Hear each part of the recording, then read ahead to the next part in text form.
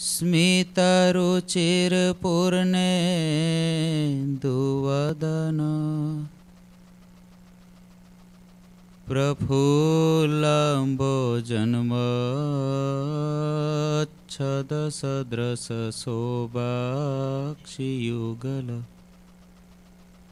कृपापरा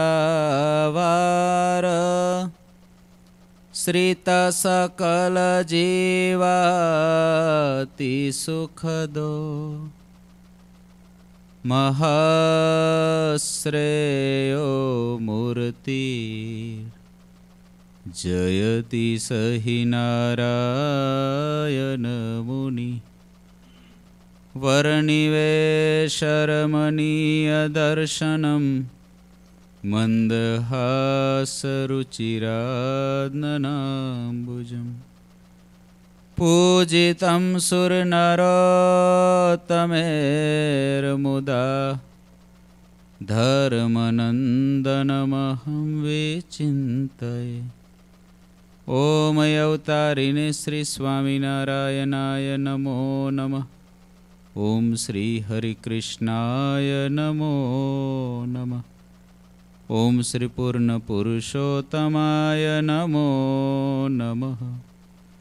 બોલો શ્રી સ્વામિનારાયણ ભગવાનની, શ્રી હરિકૃષ્ણ મહારાજની, શ્રી ઘનશ્યામ મહારાજની જય. બધા વાલા ભક્તોને હેતથી જય સ્વામિનારાયણ. વાલા ભક્તો અહીં નિત્ય આપણે વચનામૃતની કથા સાંજે કરીએ છીએ. પણ આજે મને ત્રણ દિવસથી જે મુક્તાત્મા ભગવાન શ્રીહરિને પામ્યા છે, એવા અક્ષર નિવાસી યોગી વલ્લભદાસજી સ્વામી, જેને આ સંસ્થાની અંદર છેલ્લા આઠ વર્ષ દરમિયાન સેવા આપી. પણ ખબર નહીં કોઈક પુષ્પ એટલી સુગંધ આપી જતું હોય છે કે મોટા પુરુષના હૃદયમાં પણ એની સુગંધ સતત આવતી હોય અને સંતો ભક્તોના હૃદયમાં પણ એની સુગંધ સતત આવતી હોય. મેં ગઈકાલ કીધું હતું એમ કે ક્યારેય પણ ઇમારત ઊભી થઈ હોય, એના પાયામાં પથ્થર પાછળથી જઈ શકતો નથી. પણ આધ્યાત્મિક માર્ગની અંદર સમજણથી પાયો બનતો હોય છે. એટલે મુમુક્ષુની સમજણથી આધ્યાત્મિકતાની અંદર કોઈ પણ કાર્યમાં, પાયામાં એક સેકન્ડ પહેલાં જન્મેલો વ્યક્તિ પણ જઈ શકે છે, નિમિત્ત બની શકે છે. એવું જ આ સ્વામીના જીવનમાં છે. થોડા એના જીવનની ઝરમર આપણે લેવી છે. ખાસ કરીને વાલા ભક્તો ગઈકાલ જ્યારે ગુરુજી સાથે વાત થઈ, મેં તો ગઈકાલ અહીં સહજ જ જાહેરાત કરી હતી, કાલે આવી રીતે સભા કરીશું કલાક. હમણાં લગભગ આપણે સાંજે એના માટે જ વડોદરામાં આવતા શુક્ર, શનિ, રવિ ત્રણ દિવસ ત્યાં શ્રદ્ધાંજલિ સભા ગોઠવેલી છે. અહીં આપણે થઈ ગઈ શુક્રવારથી જ્યારથી ધામમાં પધાર્યા તે દિવસથી આપણે લગભગ વાતો સવાર સાંજે જ થતી હોય છે. ગુરુજી બહુ રાજી થયા અને પછી કીધું કે બરાબર કર્યું છે. વાલા ભક્તો, આજે યોગી વલ્લભ સ્વામી, એના જીવનની અંદર, એના ત્યાગી જીવન વિશે તો આપણને અનેક અનેક વખત અનેક સંતો દ્વારા સાંભળવા મળશે જીવન પર્યંત. પણ એ સાધુના જીવનમાં પણ ડોક્યુ કરવા જેવું છે.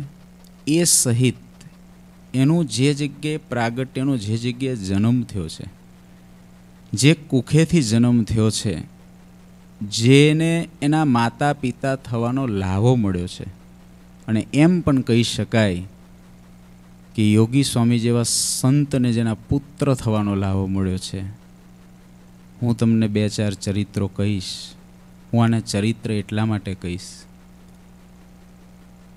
કે કદાચ જગતની અંદર પ્રગટના ચરિત્રો ગાવા એની અંદર હંમેશા જીવ ખચકાતો હોય છે. ગુણાદિતાનંદ સ્વામી પણ એવું કહેતા કે જીભ ઝાલીને બોલીએ છે. પણ વાસ્તવિકતા એ છે, જેટલા જેટલા તાકાતવાળા થયા, જેટલા જેટલામાં કોઈ આધ્યાત્મિક શક્તિ આવી છે, ઊર્જા આવી છે, એ પ્રગટથી જ આવે છે. આપણે દાદા ખાચર પર્વતભાઈ એ કોઈને જોયા નથી. આપણે મુક્તાનંદ સ્વામી, ગોપાળાનંદ સ્વામીને જોયા નથી. આપણે લાડુબા અને જીવબાને જોયા નથી.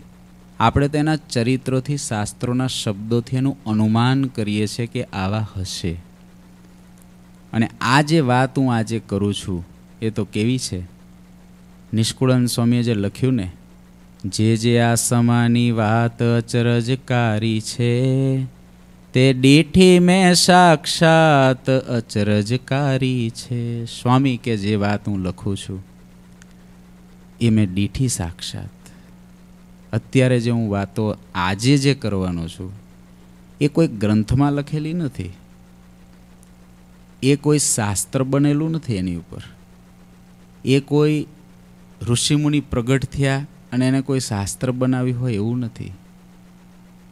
આ તો જેના જીવન શાસ્ત્ર છે, જેનો જીવન ગ્રંથ છે, જેના જીવનની અંદર આધ્યાત્મિક ઊંચાઈઓ સતત એના જીવનના શ્વાસે શ્વાસે સાથે ચાલી છે અને ચાલી રહી છે. એની કથા હું કરું છું આજે.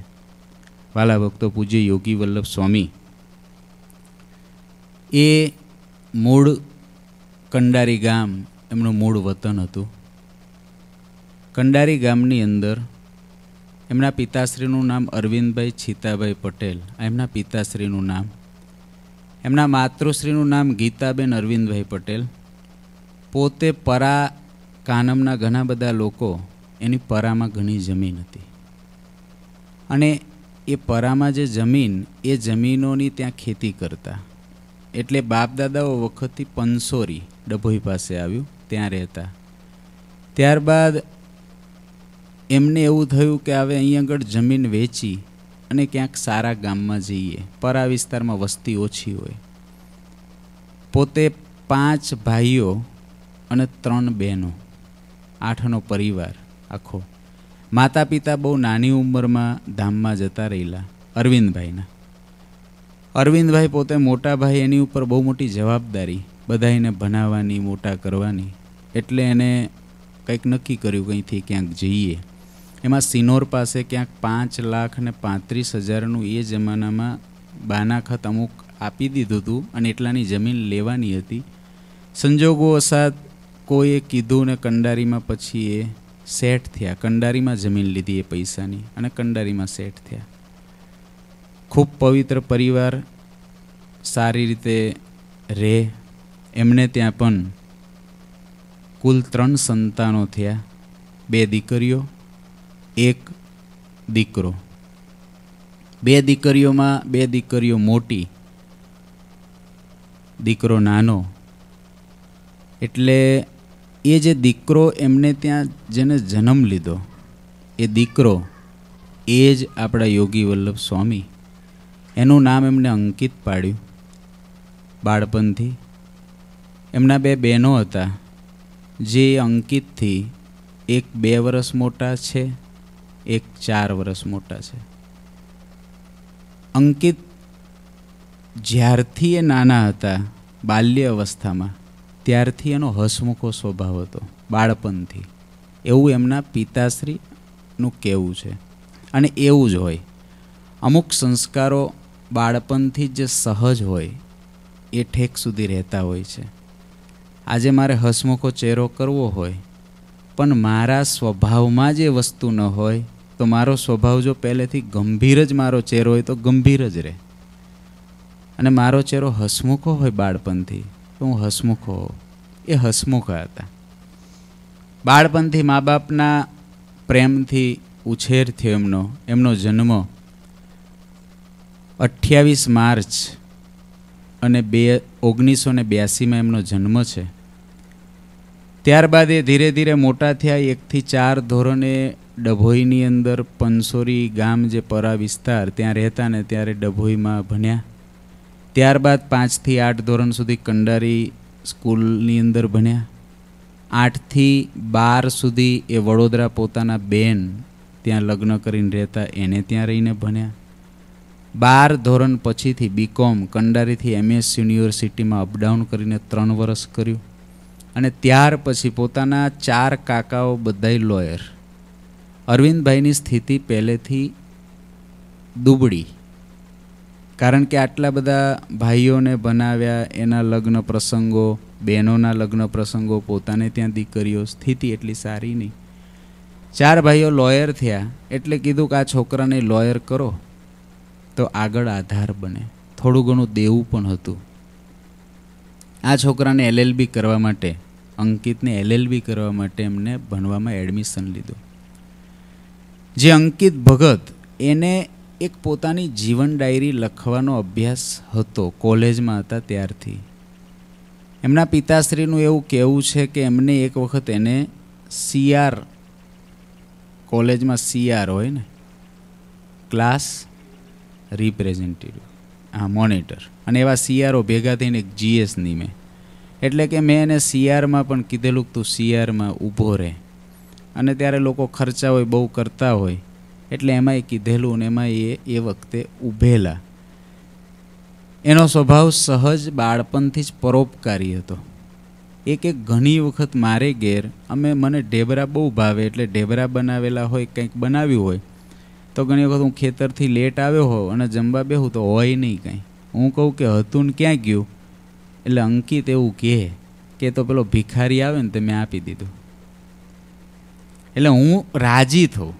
અરવિંદભાઈ કે હું રાજી થઉં કે મારો છોકરો આટલા બાળપણથી આવા સંસ્કારવાળો છે એટલે હું બહુ રાજી થતો. એ એક જીવન ડાયરી લખતા અંકિત ભગત અને જીવન ડાયરી લખતા એની અંદર એ હંમેશા પોતાના આત્માના વિચારો લખતા.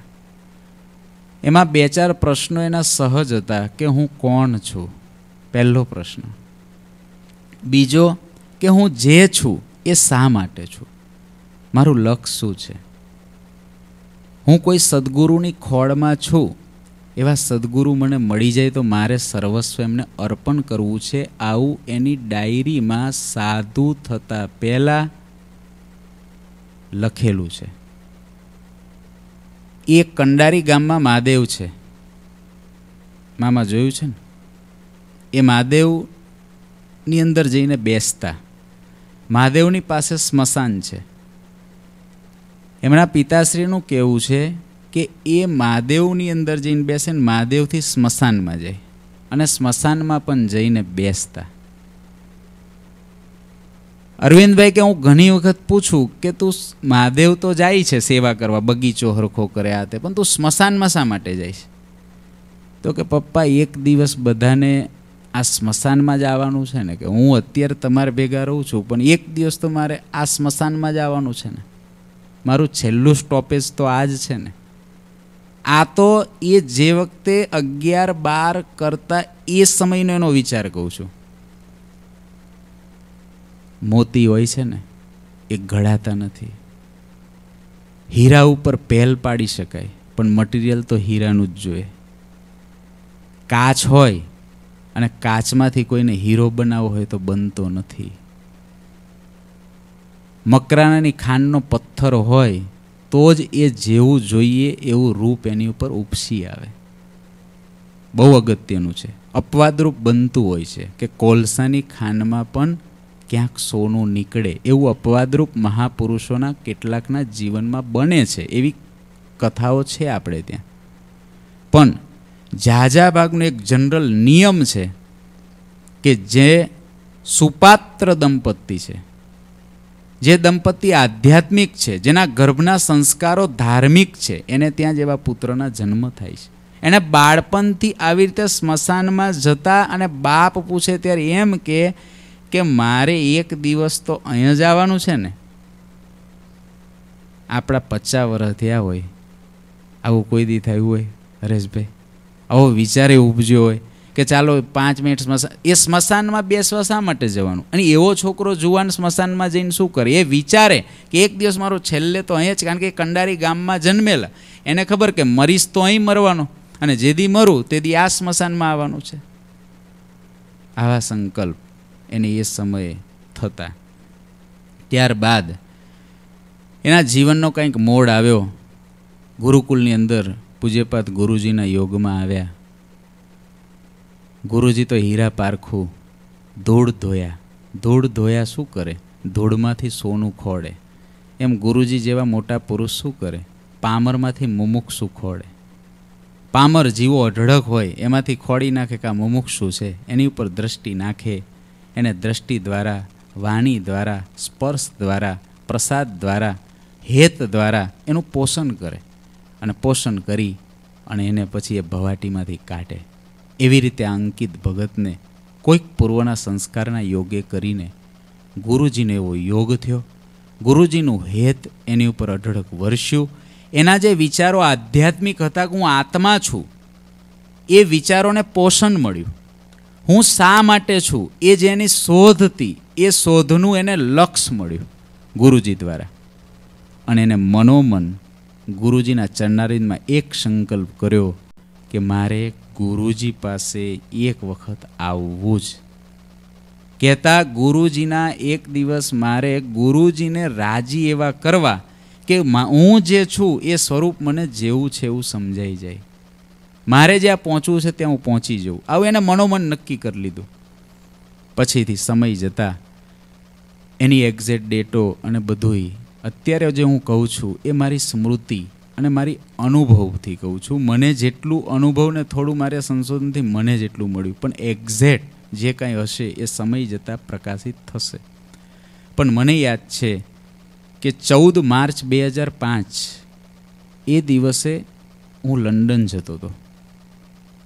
ચૌદ માર્ચ ચૌદ માર્ચ બે હજાર પાંચ એ બે હજાર ચારમાં સૌ પ્રથમ જ્યારે દશાબ્દી મહોત્સવ કંડારીમાં હતો ત્યારે એ પહેલેથી બોલવાનું એને સરસ ફાવતું. તમે જુઓ, મદારીનો ખેલ કરે તો આબેહૂબ જ કરે. એમ જ લાગે કે આ મદારી જ ઉતર્યો છે અત્યારે સ્ટેજ ઉપર. એવો ખેલ કરે. એટલે બોલવામાં પહેલેથી જ ભાષા એવી હતી, વાચાળ હતા. એટલે ત્યાં દશાબ્દી મહોત્સવમાં એને પ્રવચન કરવાનું. એટલે પૂજ્ય સુખ સ્વામી પૂજ્ય સુરજ સ્વામી, બંને સંતોને પ્રવચન લખેલું બતાવ્યું. એટલે બે સંતોએ કીધું બહુ સરસ લખ્યું છે. પણ તમે નિષ્કામ સ્વામીને બતાવી આવો. એટલે મારી પાસે કાગળ લઈને બતાવવા આવે. મેં તો આમ વાંચ્યું ને, તે જોડણીની બહુ ભૂલો હતી. એટલે મેં કુંડાળા કરી દીધા લાલ પેનથી. લગભગ વીસ પછી કુંડાળા કરી દીધા બે પેજમાં. મેં કીધું, કયા ધોરણમાં ભણો છો? મને કે, બારમું. બારમું કે, કોલેજ બીકોમ કર્યું, એવું કંઈક કીધું મને.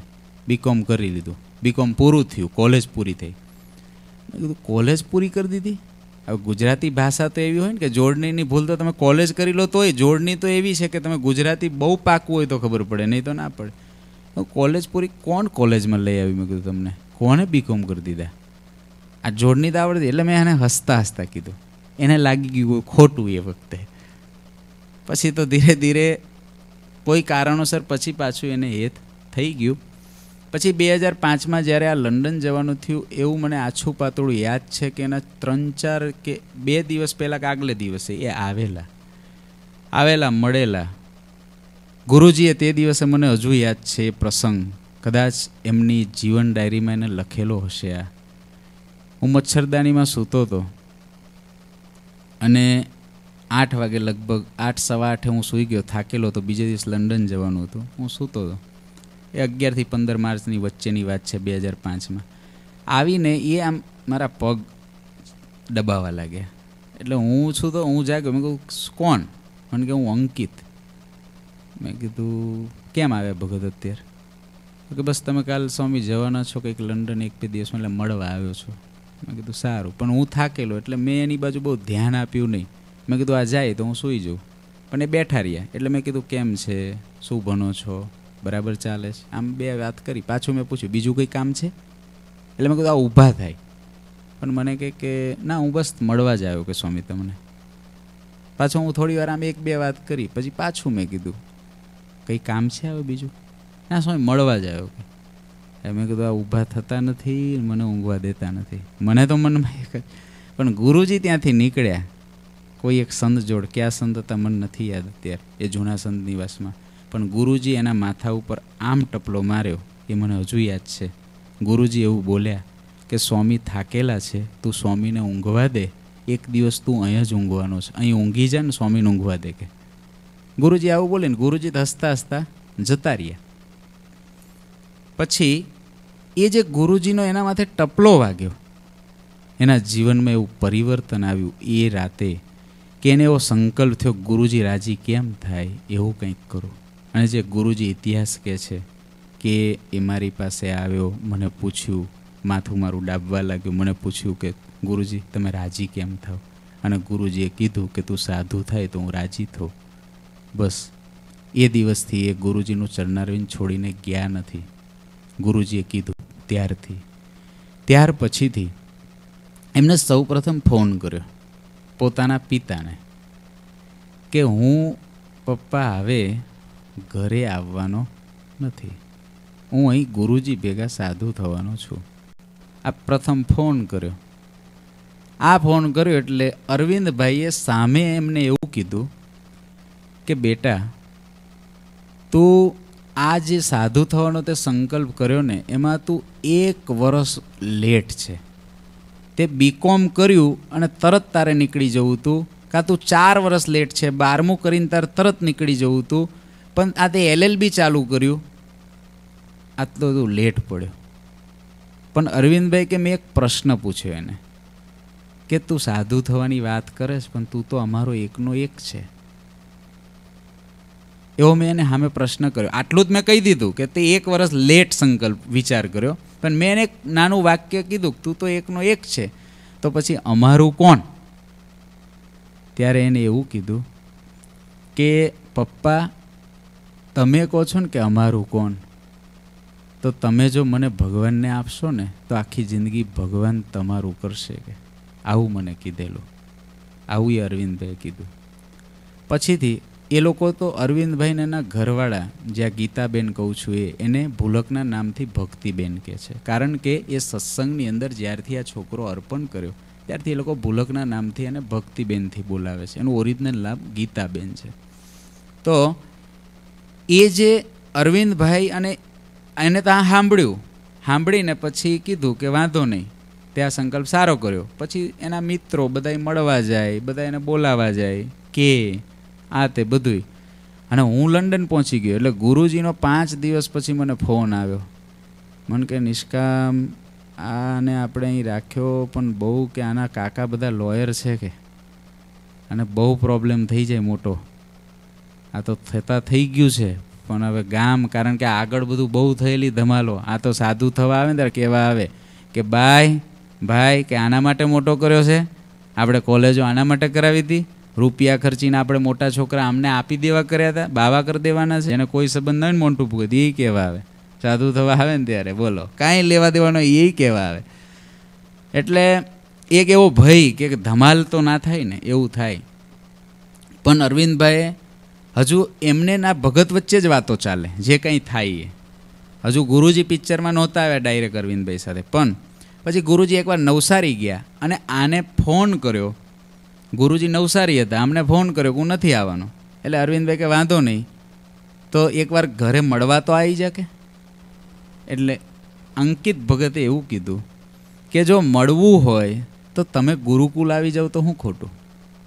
મને શા માટે ઘેર બોલાવો છો? આ બે પતિ પત્ની અરવિંદભાઈ એના ઘરવાળાને ચાર દિવસ પહેલાંથી કહેવાનું શરૂ કરી દીધું કે તારો છોકરો અત્યારે ઘેર આવતો નથી, એટલે સમજી લે કે હવે છોકરો તારો આવવાનો નથી. આવું વાતો એ કર્યા જ કરતા બે પતિ પત્ની. પછી બે જણા બાઇક ઘેર હતું. અરવિંદભાઈએ વિચાર્યું કે બાઇક લઈને ગુરુકુલ જવું અત્યારે. પણ એને એવું વિચાર્યું કે બાઇક લઈને જવું તો વહેલું બધું મળીને આવતા રહીએ.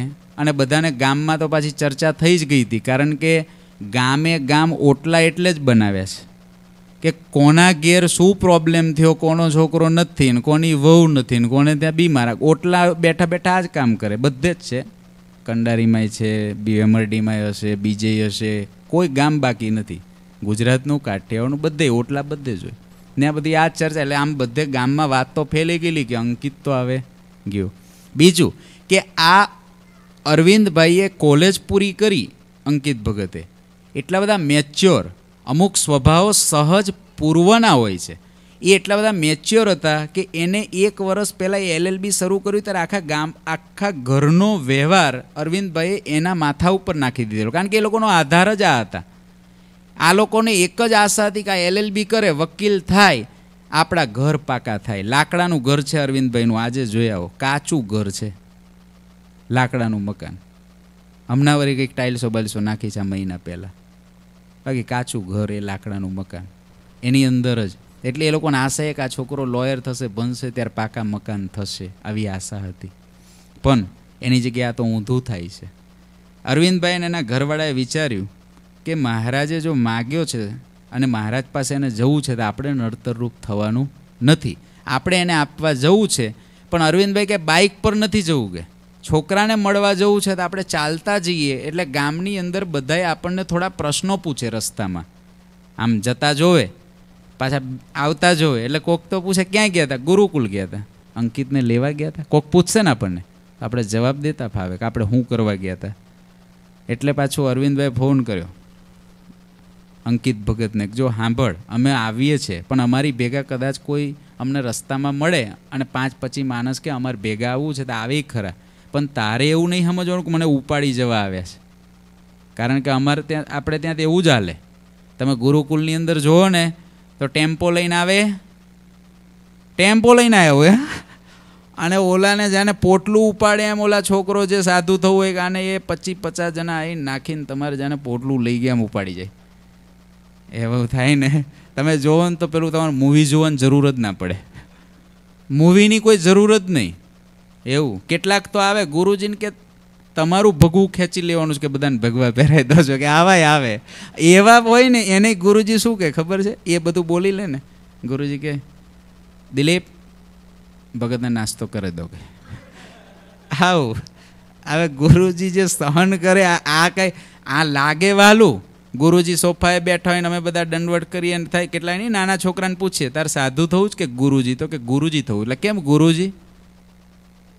સોફે બેહે. આ બધું જોયે ને કે આ બધા સંતો બેઠા બેઠા હોય. ગુરુજી સોફે બેઠા હોય ઈચ કે બેઠા હોય. પણ પૂછતો ખરો કે ક્યારે થાય છે? એને કેટલું કર્યું હોય ત્યારે થાય છે? એટલે એક સહજ એવું કે આવું ઉપાડી જવા આવે. એટલે કે કદાચ પાંચ પછી જો તું ગભરાતો નહીં અરવિંદભાઈ કે. અમે લેવાના નથી, તને મળવા જ આવે પછી એ લોકો બે ત્રણ જણ જે બીજા રસ્તામાં ભેગા થયા ને ગયા હશે, ત્યાં મેદાનમાં મળ્યા. ગુરુકુલના મેદાનમાં આ પોતે ગયા, અંકિત ભગત, એમના મમ્મીને મળ્યા, પપ્પાને મળ્યા, એમને કીધું કે અમારે તને આપી જ દેવાનો છે, તારે ભગવાનને નક્કી છે તારું, તું પાછો તો નહીં પડે ને. તો કે, ના, મારો આ પાકો નિર્ધાર છે. એની મમ્મીએ ખાલી છેલ્લે એટલું પૂછ્યું કે, તો પછી અમે તો તું એકનો એક, અમે જ તને આધાર માન્યો તો અમારું શું? તો કે, મેં પપ્પાને કહી દીધું છે તમારું ભગવાન હાચવશે. તું કેમ રડે છે કે? એની મમ્મીને એ કે એની તો નજર નીચી છે, તો આંખ મેળવતાય નથી. ત્યારે એની મમ્મી એવું કહે છે કે, તું મારી નજરમાં નજર તો મેળવ, મારી આંખમાંથી આંસુ પડે છે. એ તો હું બોલું છું ગડગડી થઈને, પણ મારી આંખમાંથી આંસુ પડે તું જો હામે. અને પછી કીધું કે, અમે તને રજા આપી દઈશું. એ બે પાછા ગયા. ગુરુજીને ફોન કર્યો અમને કે, મને આવું કીધું, અહીંયા લોકો મળવા આવ્યા હતા. ગુરુજી નવસારીથી સાંજે આવ્યા. અને ગુરુજીએ ફોન કર્યો અરવિંદભાઈને કે તમે આવ્યા હતા, મેં સાંભળ્યું અને સાધુ થવું છે, તમે રજા આપવાના છો, કેમ છે? તો કે હા, મારે રજા આપવાની છે ગુરુજી. હું હમણાં જ આવું છું, પોતાના મિત્રને લઈને આવ્યા. મિત્રને લઈને આવી અને ગુરુજીને કીધું, મને કોરો કાગળ આપો. ગ્રહસ્થ આશ્રમના ભક્તોએ જ્યારે તમારા દીકરા કે દીકરીઓ ભગવાન ભજવા નીકળે, ત્યારે ક્યારેય પણ એક છે કે બે છે પાંચ છે કે દસ છે, એનો વિચાર ના કરવો. એવા સંકલ્પ કરવાને એવા વિચાર કરવા કે અમારી કુખે જન્મેલા ને અમારા થકી જે જન્મેલા હોય, એ ભગવાનને ક્યારે વરે, ભગવાનને ક્યારે વરે? મા બાપે દીકરાઓને દીકરીઓને જન્મ ભગવાનને વરાવા આપવાનો છે. આપણી સેવાઓ કરાવવા કે આપણા આધાર બનાવવા માટે નહીં. એના માટે જન્મ છે. બે ગયા ગુરુજીને કે કોરો કાગળ આપો, કોરા કાગળ ઉપર એને સહી કરી લીધી. ગુરુજીને કે આની ઉપરથી નીચે સુધી જે લખવાનું છે ને તમારે લખવાનું ગુરુજી, જે લખવું હોય. અંકિત જોઈએ, અંકિત સહિત તમારે અરવિંદભાઈ જોઈએ, અરવિંદભાઈ સહિત તમારે એની પ્રોપર્ટી જોઈએ, અહીંથી અહીં સુધી નીચે તમારે લખવાનું નીચે અરવિંદભાઈએ સહી કરી દીધી. અને જરૂર પડે એની માની સહી હું કરાવી લાવીશ.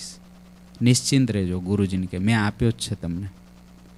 ગુરુજી એટલું કીધું કે અરવિંદભાઈ પાક્કું છે ને તમારું? ત્યારે અરવિંદભાઈ કે, ગુરુજી, સાંભળો. મારા ચાર ભાઈઓ લોયર છે. બધાના મગજ ખતરનાક છે. આ કાર્ય જે તમે કર્યું છે અને હું તમને આપી રહ્યો છું, એમાં એ લોકો મંજૂર ના પણ કરે. એ લોકોને મંજૂર ના પણ હોય, કારણ કે મારી સ્થિતિને જાણે છે કે હું મારી સ્થિતિ શું છે. અમારો આ જ આધાર છે, મને ખબર છે. એટલે એ લોકો મંજૂર ના કરે. કોઈ બીજા લોકો ના ગમે અને કોઈ અનામીનો તમારી ઉપર ફોન આવે, અનામી માણસનો, કે તમે તો આ મજબૂરીથી સહી એમને કરી છે અરવિંદભાઈએ. એમને ખરેખર કરવી નહોતી. તો તમારે કોઈ દિવસ એવું ગભરાવું નહીં કે અરવિંદભાઈ ચાલ રમતા હશે.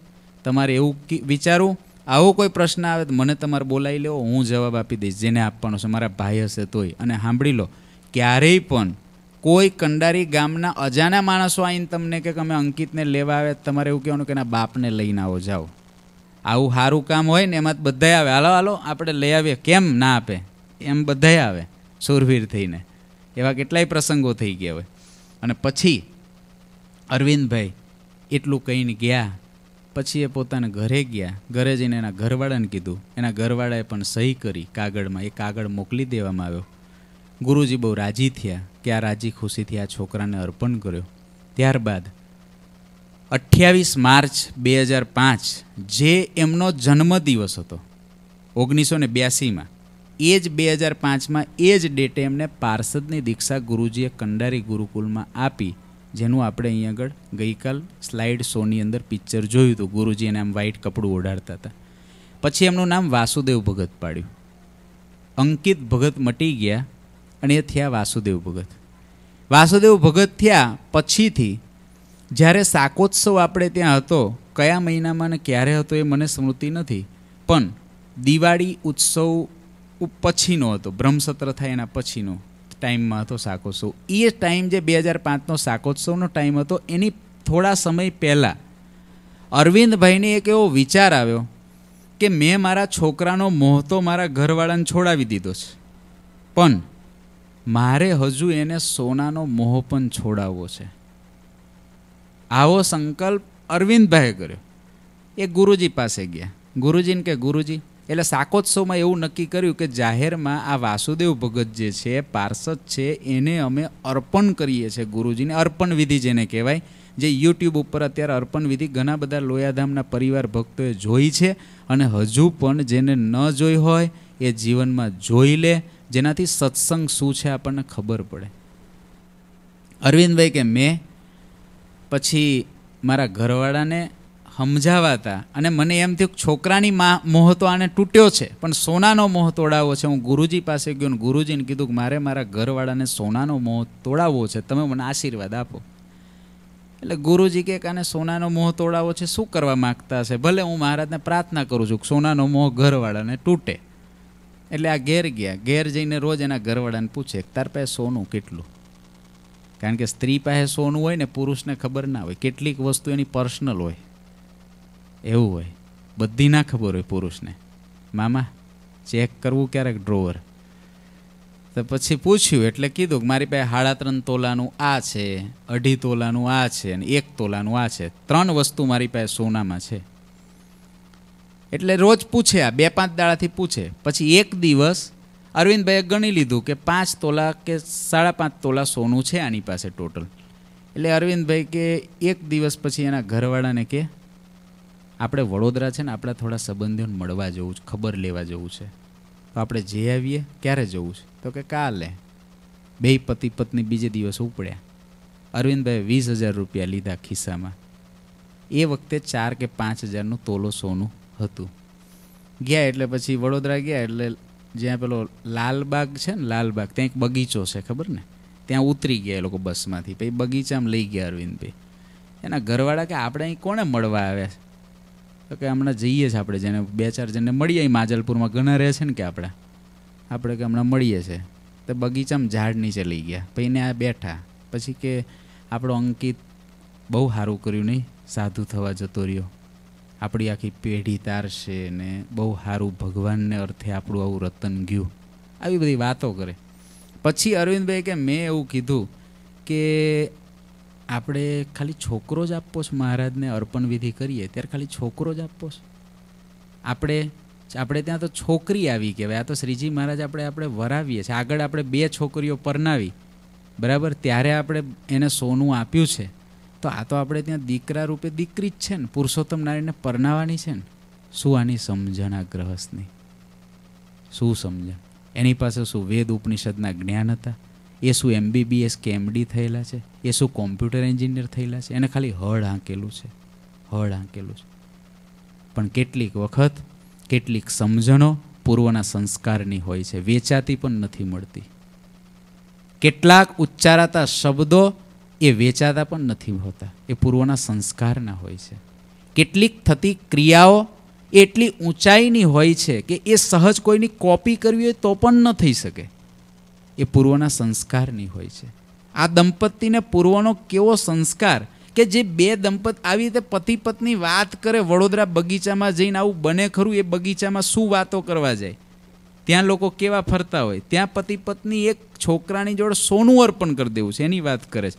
પતિએ રજૂઆત કરી, તો એમના પત્ની કે, એટલે આપણે છોકરાને શું આપીશું? તમે કોને શું ઈચ્છા છે તમારી? એટલે અરવિંદભાઈ કે, મારી ઈચ્છા એવી છે. કે આપણે છોકરી હોય તો આપણે સોનું આપીએ. તો તારી પાસે પેલું તું કહે છે ને સાડા ત્રણ તોલા ને અઢી તોલા ને એક તોલો ને બધું પડ્યું છે, બધા તોલા છે ને કે તારા? એ બધાય આપણે છોકરા જોડ મહારાજને આપી દઈએ ના ચાલે? ત્યારે એના ઘરવાળા કે, આપી જ દઈએ કે, મને મંજૂર છે, વાંધો નહીં. અરવિંદભાઈ કે, પણ પાંચ તોલા હોનાએ શું આપવાનું? એટલે હું વીસ હજાર રૂપિયા લઈને આવ્યો છું. આપણે બીજું ચાર તોલા સોનું લઈ લઈએ.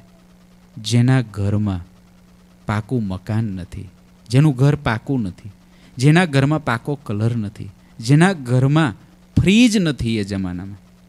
એ વ્યક્તિ એવું કહે કે પાંચ તોલા સોનું આપી દઈએ અને વીસ હજારનું બીજું સોનું ઉમેરીને આપણે આઠ નવ તોલા સોનું આપીએ અને ગ્રહસ્થ આશ્રમમાં ક્યાં મૂકવા મને કહો? આ ત્યાગી કહેવા કે ગ્રહસ્થ કહેવા આને રાગી કહેવા કે વૈરાગી કહેવા અને આને આજે હું કહું કે આજે આજે પૂર્વે જેટલા ઋષિમુનિઓએ શાસ્ત્રો લખ્યા, પૂર્વે જેટલા નંદ સંતોએ શાસ્ત્રો લખ્યા, એ સંતો આજ હાજર હોય તો આ ચરિત્રને કયા ગ્રંથમાં ના લખે?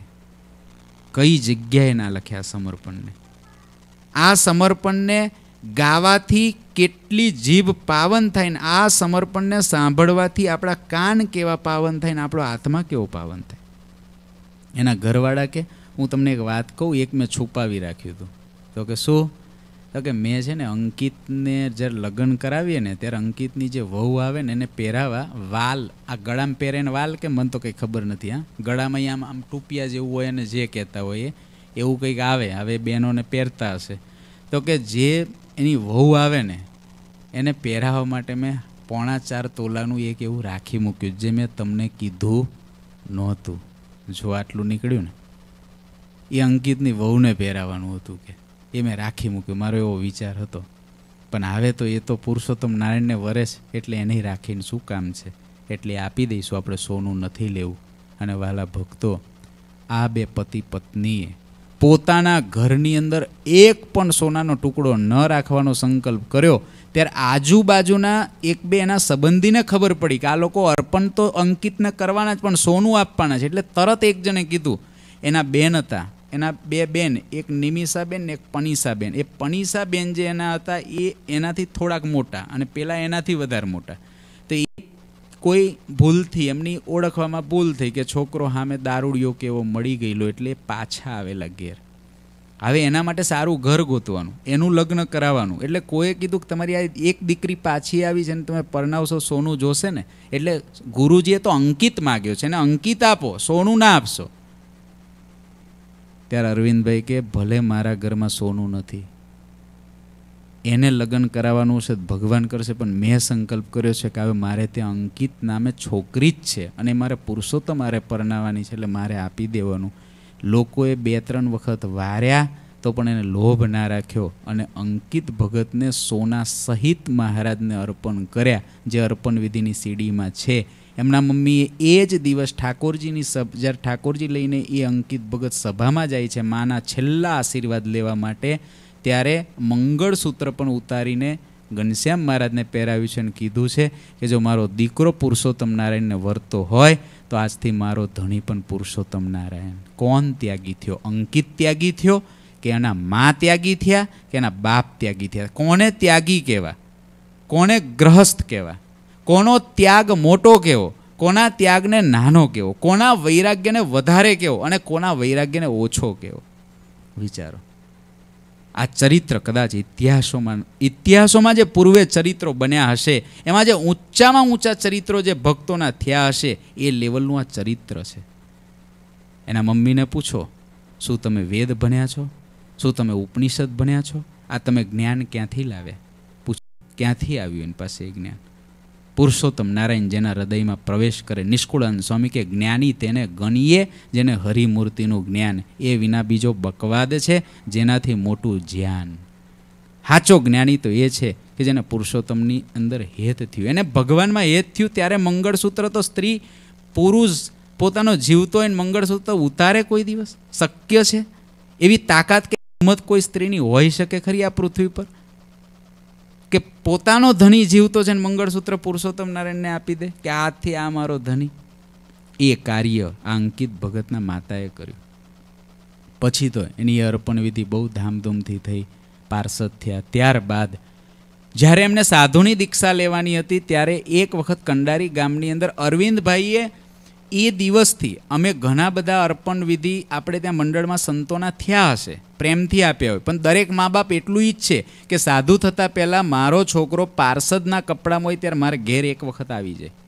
આવું દરેક મા બાપ સારા, કદાચ એને પ્રેમથી આપી દીધો છોકરો. પણ એવી ઈચ્છા રાખે કે સાધુ થતાં પહેલાં આ છોકરો મારે ઘેર, મારા કુટુંબ પરિવારવાળાને ત્યાં બધાને ત્યાં પગલાં કરી જાય. આટલી ઈચ્છા રાખે. પણ અરવિંદભાઈએ અને એમના પત્નીએ જે દિવસે સહી કરી ગયા કાગળમાં, તે દિવસથી સંકલ્પ નથી કર્યો કે આ છોકરો આવે, પાર્ષદના કપડાં હોય, ત્યાં સુધી હજુ જઈ શકે. તો હજુ એક વખત અમારે ઘેર આવે અને સંકલ્પ નથી કર્યો. ગુરુજીએ કીધું કે મારે આને સાધુની દીક્ષા હવે આપવાની છે. તમારે કોઈ ઈચ્છા ખરી? જે હોય કહી દો. સાધુ થયા પછી એ કંડારી ગામનું ઝાડવું નહીં જોઈ શકે. એટલે તમારે કોઈ ઈચ્છા હોય અથવા કોઈ સંબંધીને ઘેર લઈ જવાના હોય તો કહી દો, પછી એ નહીં આવી શકે કોઈ જગ્યાએ. અત્યારે ધોળે લુગડે છે, આવી જશે. ત્યારે અરવિંદભાઈ કે, ગુરુજી, મારે એને હવે મારું ઘર બતાવવાનું નથી, એ તો તમારો થઈ ગયો. પુરુષોત્તમ નારાયણનું ઘર એ જ એનું ઘર. તમારે ગુરુજી, બસ અમારી એટલી ઈચ્છા છે, તમારે કંડારીની અંદર એને સાધુ થતાં પહેલાં એક વખત લાવવો હોય, તો તમે મંદિરમાં લાવો. મંદિરમાં આવ્યો, અમારે ઘેર આવી ગયો. અને મંદિરમાં આવ્યા અંકિત ભગત.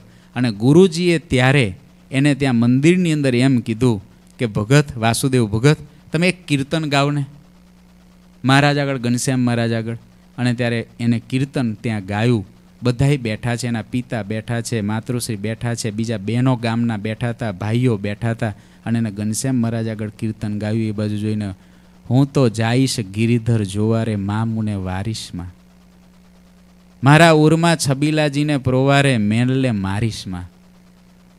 હું તો માથું જાતા નહીં, મેલું રે. એ જે પ્રેમાનંદ સ્વામીનું કીર્તન છે, એ એને ત્યાં ગાયું.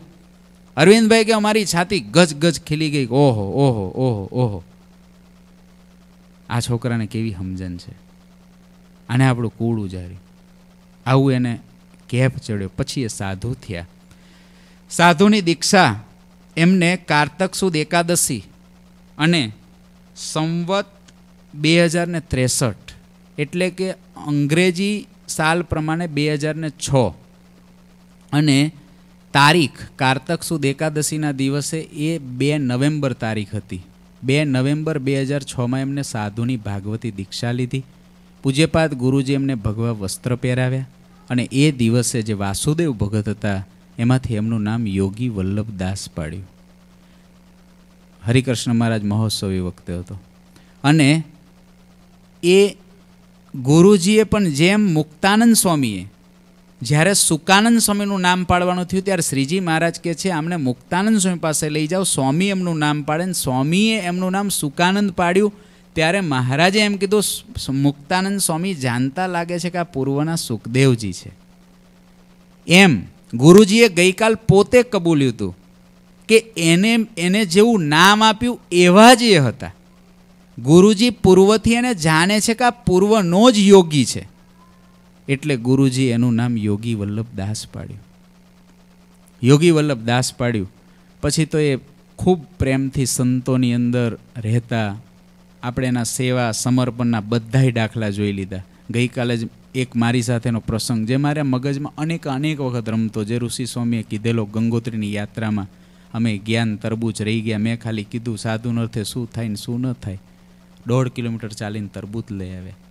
પોતે માથે મૂકીને. આશ્ચર્ય લાગે કે આપણી મશ્કરી પણ કોક એને કેટલી દિવ્યતાથી ઝીલતું હોય છે. એ પાત્ર કેટલું ઊંચું હોય કે જે તમારી મશ્કરીને એટલી દિવ્યતાથી ઝીલી શકે. આ વાત એવું નથી કે આજે એ મુક્ત ભાવને પામી ગયા ને હું કરું છું. એની હયાતીમાં પણ આ વાત મેં સોથી બસો વખત સંતો ભક્તોની વચ્ચે કરેલી છે એકાંતમાં બેસીને. કે આમાં કોની મોટાઈ, કોણ મોટો? કોની ઊંચાઈ? જેની સ્થિતિ ઊંચી એ ઊંચો. વરતાલના વચનાવતમાં શ્રીજી મહારાજ કહે છે, ત્યાગી ગ્રહીનો કાંઈ મેળ નથી, જેની સમજણ મોટી એ મોટો. આપણી સમજણ મશ્કરીની હોય એક મુમુક્ષુ છે. આપણે એને મશ્કરીમાં કહીએ, આપણી સમજણ મસ્કરીની હોય એના પ્રત્યે. અને એની સમજણ તમારા વચનને ગંભીરતાથી ઝીલવી એ હોય. સમજણ કોની મોટી? કોણ મોટો? મોટો તો અહીં આગળ આપણે, હું આ જ હોઉં આ હોય તો હું મોટો જ ગણાવવાનો, લોકના વ્યવહાર દ્રષ્ટિએ. પણ મારા કરતાં એની સમજણ મોટી તો એ મોટો છે. મોક્ષના માર્ગમાં, શ્રીજી મહારાજના માર્ગમાં મોટો છે. એ જ્યારે પૂર્વે વાસુદેવ ભગત હતા ત્યારે આ પ્રસંગ મને બની ગયેલો. પછીથી સાધુ જ્યારે થયા, યોગી વલ્લભદાસ થયા, ત્યાર પછી પણ એની સેવા, સમર્પણ, આ બધું એવું હતું. હમણાં જ માનસરોવરની યાત્રામાં જ્યારે પહેલી વખત અમે ગયા, એ માનસરોવરની કડકડતી ઠંડી, એની અંદર રસોડું કરવું ને રસોઈ કરવી ને એ એકવાર કોઈને એમ થાય કે નથી જમવું કંઈ. આવી રીતે બહાર આ બરફની વચ્ચે તમે ટેન્ટ બાંધી દો અમને અને તમે કહો કે સ્વામી, અહીં ખીચડી બનાવો ને તો અમે એવું કહીએ કે અમારે ખીચડી નથી જમવી, ફ્રૂટી નથી જમવું, પાણી પીને અમે ઊંઘી જશું. આવી ઠંડીની અંદર, માન સરોવર આવી જ ઠંડી હોય, ત્યાં કોઈ આવું હીટર નથી હોતું. અને પેલા ટેન્ટ ખેંચેલા હોય ખાલી. અને ટેન્ટની અંદર પણ એ ટેન્ટ એવા હોય છે કે નીચેથી હવા સતત આવતી હોય. એકવાર જે માનસરોની યાત્રામાં જાય ને એને મફત ફરી લઈ જાઉં તો બે હાથ જોડે માર નથી આવું, રહેવા દો. જે જે આવ્યા છે, હું જે આવ્યો, શ્રીજી સ્વામી જે આવ્યા, જે જે સંતો જે આવે ને એનો અનુભવ કરો. કે એને ફરી કહેવામાં આવ્યો કે તમારે માનસરોની યાત્રામાં આવવાનું છે કે બસ એક વખત નાહી લીધું માનસરો આવે રહેવા દો. પણ એવી ઠંડીની અંદર પણ યોગી વલ્લભ સ્વામી મને યાદ છે કે એ રાત્રે જ્યારે સેવા કરવાવાળા હોય તો એ અગિયાર વાગે કે ત્યાં સુધી હજુ મતતા હોય એવી ઠંડીમાં. બીજાને કે તમે ઊંઘી જાઓ, તમે જાઓ, હું કરું છું. એ પોટલા બાંધે, ઉચકે, ઉચકીને મૂકવા જાય, ટેમ્પા સુધી લઈ જાય, એને પાછા લાવે, ઓછું ઊંઘવાનું અને કામ જાજુ કરવાનું. આવી માનસરોની યાત્રા મેં જોયું છે. એના જીવન વિશે તો હજુ ઘણી બધી કથાઓ પછી ભવિષ્યમાં થવાની છે, એટલે એના જીવનમાં હું જાજો ઊંડો નથી ઉતરતો. પણ એક ચીવટતા એની જોઈ કે ગુરુજીનો હાર ગુરુજીએ ગળામાં હાર પહેર્યો, એ હાર સેજ આમ પડ્યો છે. તમે અહીં પણ જોયું હશે. સેજ આમ પડ્યો છે, સેજ લાંબો છે. એની ચીવટતા એને હોય. ગુરુજીને અહીં આગળ ગૂંચ બાંધ્યો કે અહીં આગળ તોરો બાંધ્યો, પગની અંદર અહીં બાંધ્યું. તો એ જે બાંધ્યા ત્યાં થોડીક ગાંઠની આગી પાછી થઈ તો એને ખબર છે કે અહીં ઢીલું છે ને આ કડક છે. કેવી રીતે થાય? જેને પુરુષોત્તમ નારાયણ સાક્ષાત એ પુરુષમાં સ્વયં દેખાતા હોય એને જ ખબર પડે કે હાર આમ છે. નહીં તો ઠાકોરજીની સેવા કરતો હોય ને તો ઠાકોરજીનો હાર આગો પાછો થાય ને, તો એ પ્રત્યક્ષ ભાવ જો ના હોય ને, પ્રગટ ભાવ ચોવીસ કલાક ના રહેતો હોય ને, તો એનો હાર એ આગો પાછો થયો છે એવી નજર ના પહોંચે. પણ આને ગુરુજીનો હાર સેજ આમ થાય ખબર પડે. માઇક સેજ આમ હોય, તરત દોડે. તો એ કેટલી ચીવટતાથી એ મૂર્તિમાં વળગેલું હોય એ પાત્ર કે એને એમ ખબર પડે કે માઇક આટલું દૂર છે, આટલું નજીક પડે છે, આટલું આમ થાય છે, અહીંથી આમ હલ્યું છે. એની કેવી સાધના એક સત્પુરુષની હશે. આપણી બુદ્ધિ કલ્પી ના શકે એવું છે. બુદ્ધિ કલ્પી ના શકે. અને આ વાતને ગુરુજી પણ હૃદયથી સ્વીકારી શકે. ગુરુજી પણ હૃદયથી સ્વીકારી શકે. ગુરુજીના હૃદયની અંદર, ઊંડાણની અંદર બેઠેલું પાત્ર આટલા વર્ષમાં એમ, થોડાક વર્ષમાં સાત વર્ષ મેં હમણાં એનું એનું કાઢ્યું. કેટલો એનો હિસાબ નીકળ્યો? એ સાધુ થયા, ત્યારથી હમણાં ધામમાં પધાર્યા. સાત વર્ષ ત્રણ મહિના અગિયાર દિવસની આસપાસ. કદાચ બે ચાર દિવસ આમ તેમ થાય મારી ગણતરીમાં. પણ સાત વર્ષ ત્રણ મહિના અગિયાર દિવસ એને આ ભાગવતી દીક્ષામાં થયા. અને પાર્ષદ દીક્ષા લીધી, ત્યારથી આઠ વર્ષ અગિયાર મહિના અગિયાર દિવસ. આટલા એને ટોટલ ત્યાગ આશ્રમના થયા. એમાં સાધુની દીક્ષાની અંદર સાત વર્ષ ત્રણ મહિના અગિયાર દિવસ. આટલું એનું થાય. આટલું મેક્ઝિમ સાત વર્ષ. એટલે અમારા ત્યાગ આશ્રમની અંદર હજુ બાળક અવસ્થામાં આમ બહાર નીકળે. હજુ એટલું જ બાળક અવસ્થામાં. પણ એની અંદર એને એટલું બધું કાર્ય, આટલું બધું કાર્ય કેવી રીતે કરી શકે? ગુરુજી મને ગઈકાલ વાત કરતા હતા, મને કે, નિષ્કામ, એની જે જે અંતિમ, એની જે અગ્નિ સંસ્કારની ચિતા હતી, એની અંદર અમે ચંદનના નાના કોથળીઓની લા, એટલી બધી કોથળીઓ આવેલી કે અમે નાખતા થાકી ગયા. અમારે ના પાડવી પડી ભાઈ હવે લેટ થાય છે. એટલા બધા લાકડા હરિભક્તો લઈને આવેલા. મને કે કોઈને આપણે કીધું નથી કે આવું લઈને આવજો. સાત વર્ષ જેને ખાલી સાધુ જીવનમાં કાઢ્યા, એના અંતિમ વિધિની અંદર અનાયાસે આવું કેવી રીતે થાય? ગઈકાલ ગુરુજીએ કીધું કે જે કંઈ ભજન થયું એ ભજન કોઈને ફોર્સપૂર્વક નથી કરાયું કે તમે ભજન કરજો ને કરજો કરજો ને કરજો કરજો ને કરજો. સહજ સ્વયંભૂ ભજન થયું. સ્વયંભૂ કેવી રીતે થાય? એ પુરુષોત્તમ નારાયણ હૃદય હૃદયમાં પ્રવેશ કરતા હોય. પુરુષોત્તમ નારાયણ હૃદય હૃદયમાં પ્રવેશ કરતા હોય. એક મોટા બ્રહ્મનિષ્ઠ સદગુરુ હોય અને એની જેવી અંતિમ યાત્રા એવી એની કેવી રીતે નીકળે? પુરુષોત્તમ નારાયણને પોતે સર્જેલું હોય ત્યારે થાય. એના સંકલ્પથી થયેલું હોય ત્યારે થાય. પણ એ થવા પાછળનું મુખ્ય કારણ એક જ છે. સદગુરુના સંકલ્પમાં ઓગળવું એ જ એનું જીવન હતું. સદગુરુ વિના રહી નહોતા શકતા. ગુરુજી સાથે આજ વાત થઈ હતી મારે, કે એને એવું અસાધારણ ગુરુજીમાં હેત હતું એવું હેત હતું ગુરુજી પોતે કબૂલે છે કે ગુરુજીથી દૂર ના રહી શકે આવું એને અસાધારણ હેત હતું પણ ગુરુજી કે એને એક વખત એવો સંકલ્પ નથી કર્યો કે આ ગુરુજી મને પાસે રાખે. મેં કીધું કે તું આની જોડ રહે તો એની જોડે મારી જોડ જેમ રહે, એમ જ રહ્યો છે. મારી સેવા કરે, એમ જ એની સેવા કરીશ. અને એ એની સેવા કરવામાં પણ એવું જ અનુભવે કે હું એટલે કરું છું કે મારા ગુરુજી રાજી થાય. જે પંક્તિ પ્રકરણ એકતાલીસમાં લખી છે, રાખે છે ગુરુ ભાવ અમમાં, વૃત્તિ લાગી રહી છે તમમાં. બહુ મોટો વિવેક છે આ. બહુ મોટો વિવેક. એમાં સહજ હતો. અને એના કારણે એ બાજી જીતી ગયા. યોગી સ્વામીના જીવનની અંદર આવા સમર્પણના, આવા બધા ભાવો અનેક અનેક છે. એનો થાળ પણ ગુરુજીને બહુ ભાવતો. વડોદરાની અંદર હમણાં મેં બે ચાર યુવાનોને ફોન કર્યા હતા. કેટલાક યુવાનો, એક બે યુવાનો મને કહે સ્વામી, અમે તો હજુ સત્સંગમાં નવા છીએ. અમે કથા વાર્તા સાંભળવા નથી આવતા હજુ ગુરુકુલ. કથા વાર્તાને લાયક પણ નથી. અમે તો હજુ કુટેવવાળા છીએ. કુટેવોવાળામાંથી હજુ હમણાં જ નીકળ્યા છે. એના શબ્દો અમે કુટેવની લતમાંથી હજુ હમણાં જ નીકળ્યા છીએ અને સ્વામી, અમે કથા વાર્તાને સમજી પણ નથી શકતા. પણ અમે વડોદરા ગુરુકુલ એટલા માટે શનિવારની સભા હોય ત્યારે જતા નહીં કથા વાર્તા માટે. કોઈ પણ સંત કથા વાર્તા કરતા હોય, પણ હજુ અમને કથા વાર્તાની ખબર જ નથી શું છે. પણ અમને અઠવાડિયે એક વખત યોગી સ્વામીનું મોઢું જોઈએ, એટલે અમને એમ થાય હવે અઠવાડિયું અમારું જશે, શનિવાર સુધીમાં અમને કુટેવ પેલી જે પડેલી હોય પીવાની, ખાવાની, બીજું કંઈ કરવાની, એ અમને તરત એમ થાય અઠવાડિયામાં હવે અમારે નથી કરવું. જે સાધુનું મોઢું જોઈએ, અઠવાડિયા સુધી વ્યસની વ્યક્તિને વ્યસન કરવાની ઈચ્છા ના થાય, એ પાત્ર કેવું હશે? એની આંતરિક સાધુતા કેવી હશે? એને આવી વ્યાસપીઠે બેસીને કથા નથી કરી. એ આવી રીતે માઇક ઉપર એનો એક પણ ફોટો નહીં હોય, એક પણ નહીં હોય. એ માઇક ઓપરેટિંગમાં હશે. આની અંદર નહીં હોય.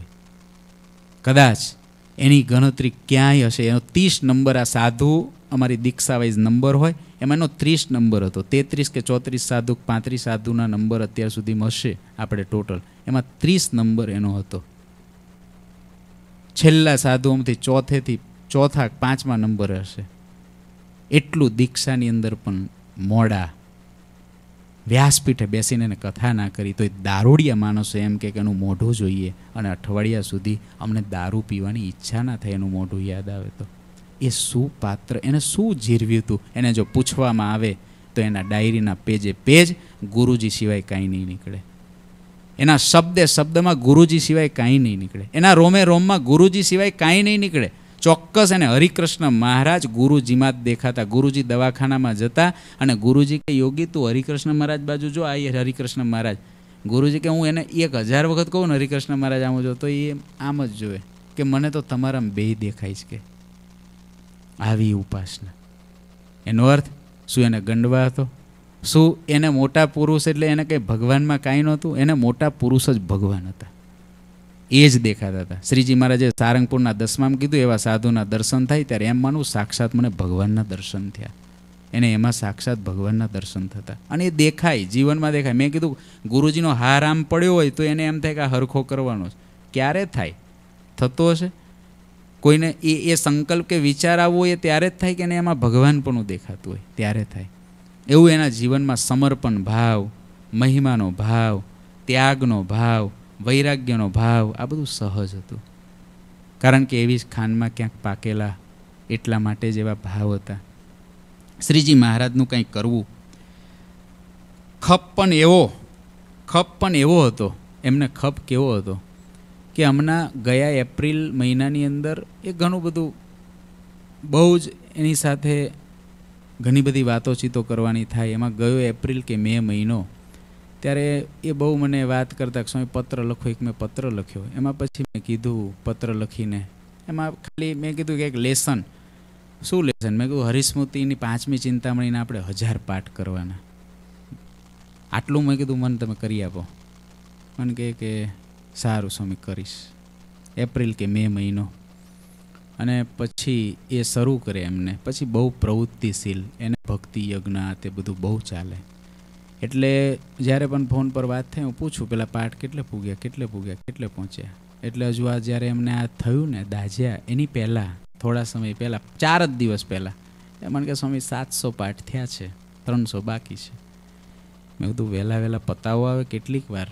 આપણે મેં પાંચ પાંચ કરીએ, કે પછી આવે હું થોડા શરૂ કરું. તો કે ના, પાંચ, હું જ પતાવી દઈશ, સ્વામી. મેં સારું. પછી તો એ આમાં દાજ્યા આવું થયું.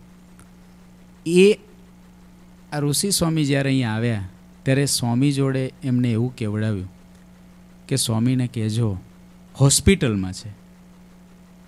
નથી એનાથી ચલાતું, નથી એનાથી હરખું બોલાતું. એ એવું કહે છે, સ્વામીને એવું કહેજો કે સ્વામીએ મને પેલા પાઠ કરવાના આપ્યા હતા. એ હજુ મારાથી સ્વામીનું લેસન પૂરું નથી થયું. તો સ્વામીને કહેજો, રાજી રહે અને એ પ્રાર્થના તો દરેકને કરતા કે કોઈ પણ પ્રકારની કસર, એવાની અંદર કોઈ કસર હતી જ નહીં. પણ મારાને તમારા જેવાને પાઠ શીખવાડવા માટે આટલું દુઃખ પડે એની વચ્ચે સત્પુરુષની નિષ્ઠા રાખશો ને તો આત્મનિષ્ઠા આપોઆપ રહેશે. અને હરિસ્મૃતિના ચમત્કાર પણ કેવો કે ગુરુજીએ તો દસ તારીખે મહારાજને કહી દીધેલું કે મહારાજ તમે આવે એને લઈ લેજો, મને વાંધો નથી. પણ એ હરિસ્મૃતિના પાઠ એ ધામમાં ગયાના આગલે જ દિવસે આ પાંચમી ચિંતામણીના પાઠ વાઇબર ઉપર મેં મુકાયા કે આપણે કરવા છે. આ બાજુ શરૂ કરીએ. અહીં શરૂ કર્યા. બધાય ભક્તોએ કર્યા, જોર્જિયામાં કર્યા, આમ કર્યા. દરેકને એવું હતું કે હરિસ્મૃતિના પાઠ સ્વામીએ એ સારું થાય એટલે આ વાઇબર ઉપર મૂક્યા છે કે એના માટે આપણે પ્રાર્થના કરવાની છે. ખરેખર, એને એવો એક વસવસો હતો કે મારું આ બાકી છે. જ્યારે અહીંથી પૂજ્ય દિવ્ય સ્વામી ગયા, ત્યારે મેં બે શબ્દ પત્રમાં લખીને મોકલ્યા હતા કે તમને આપેલું કાર્ય એ અહીં પૂર્ણ થઈ જશે એટલે તમે એની હવે ચિંતા ન કરતા. એ મોકલ્યા હતા. અને ચમત્કાર કેવો કે એને નથી કોઈ કીધું હરિસ્મૃતિના પાઠ પૂરા થયા. અહીં એ દિવસે સાંજે ત્રણસો પાઠ મને અનુમાન હતું, એને કીધું ત્રણસો ચારસો પાઠ કરી દીધા હતા, બધા થઈને, બધા ભક્તોએ. બીજે દિવસે ગુરુજી એ જ દિવસે એમને પૂછ્યું હતું કે મૃત્યુનો ભય છે તો કે નથી? અને બીજે દિવસે ગુરુજીએ દસ તારીખથી મહારાજને હોપી જ દીધા હતા તમે જ્યારે આવો ત્યારે મેં તમને હોપ્યા છે. ગુરુજીએ આજે જ કીધું મને કે મેં તો દસ તારીખે મહારાજને મારી ડાયરીમાં છે, પૂજામાં છે, મેં કહી દીધું, મહારાજ, મેં તમને હોપી દીધો. હવે તમારે જે પ્રમાણે જ્યારે આવવું હોય ત્યારે આવી જજો અને લઈ જજો. હું એમાં હવે કોઈ પ્રકારની તમને એના માટે પ્રાર્થના કરતો નથી.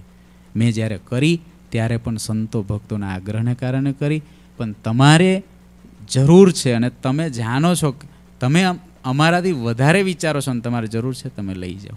આવું કહી દીધું. હતું પણ એ જે દાજ્યા, એને એક અકસ્માત આપણે આ લોકની ભાષામાં કહેવાય.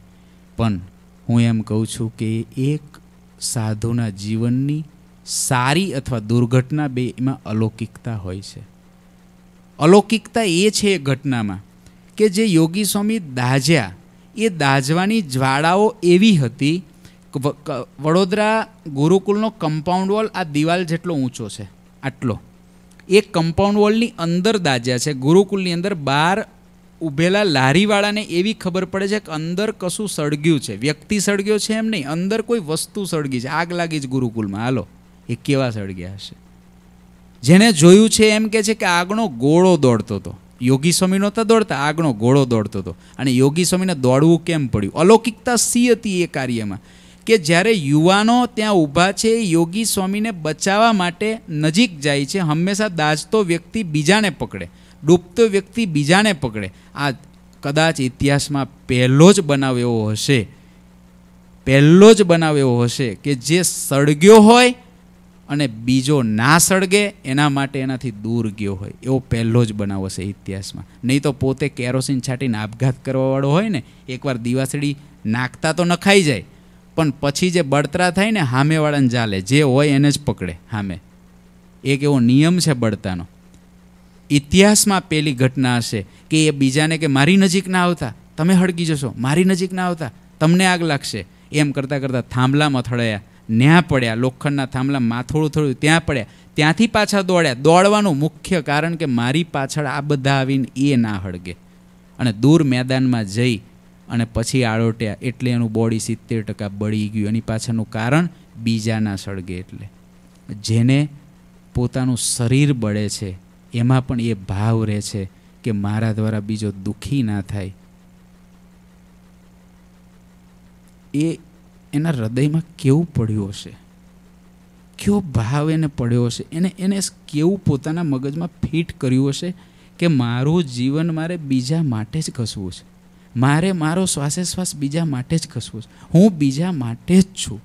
મારાથી કોઈને દુઃખ ના થવું જોઈએ. હું બધાના ઉપયોગમાં આવી જવું જોઈએ. એ ભાવના આગના ગોળા વચ્ચે કેવી રીતે રહે?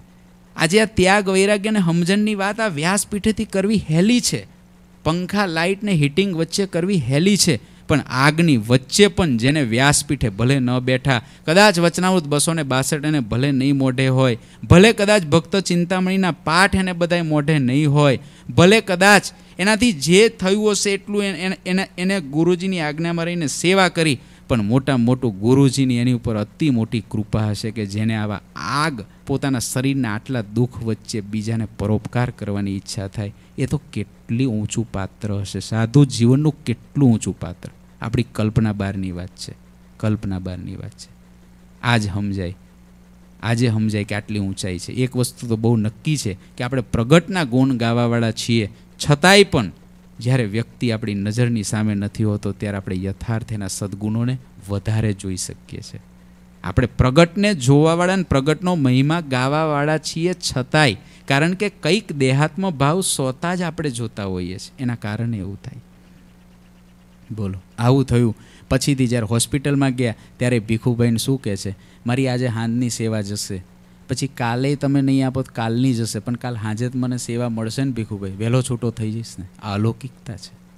અલૌકિકતા છે. ગુરુજીને ફોન કર્યો. ગુરુજી, તમે અહીં સુધી ધક્કો ના ખાતા. મને કાંઈ નથી થયું. થોડું દાજ્યો છું. અલૌકિકતા છે. ગુરુજી બીજે દિવસ પહોંચ્યા અને જ્યારે ખબર લેવા ગયા ઓહો ગુરુજી, મારી નાની ભૂલને કારણે તમે સંતો કેટલા હેરાન થાવ છો? અલૌકિકતા છે અલૌકિકતા છે. આઈસીયુમાં ગયા ને પાછા બહાર આવ્યા અને જ્યારે આમ હાથ ઊંચો કરીને કંઈ દુખે કંઈક થાય અને ત્યારે એમ કે કે, ઓહો મહારાજ, મારી કસરો ટાળો છો ને? મારી કસરો ટાળો મહારાજ, મને ચોખ્ખો કરો છો ને?